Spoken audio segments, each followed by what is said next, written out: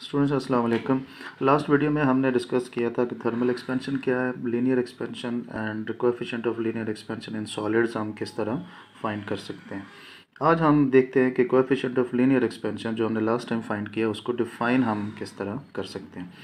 आपको अगर याद हो तो फ़र्स्ट जो इक्वेशन हमने डिराइव की थी उसमें, वो थी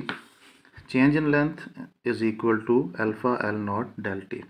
L T final length है एल नॉट ओरिजिनल लेंथ है alpha coefficient of linear expansion था, और चेंज इन टेम्परेचर जो इनिशियल से फाइनल आपने इंक्रीज़ किया, और दोनों का डिफरेंस लिया तो जो चेंज आई टेम्परेचर के अंदर वो डेल टी से हमने डिनोट किया था। तो ये क्योंकि चेंज इन लेंथ है तो इसको आप डेल एल से डिनोट कर सकते हो will be equal to alpha L not del T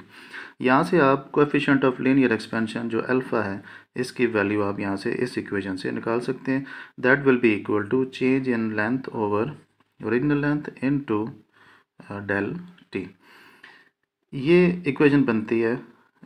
coefficient of linear expansion की। इसको आप यहाँ से डिफ़ाइन कर सकते हैं। अगर हम ओरिजिनल लेंथ को वन मीटर ले लें और चेंज इन टेम्परेचर जो है वो वन डिग्री सेंटीग्रेड ले लें तो alpha will be equal to change in length यानी कि कोएफिशिएंट ऑफ़ लीनियर एक्सपेंशन जो है वो टेम्परेचर इंक्रीज़ करने के बाद चेंज इन लेंथ जो आती है उसके इक्वल होगा। इसको हम डिफ़ाइन कर सकते हैं कि coefficient of linear expansion will be equal to change in length per unit length per degree centigrade rise in temperature और per degree kelvin rise in temperature. यानी कि आप जब किसी ऑब्जेक्ट का टेम्परेचर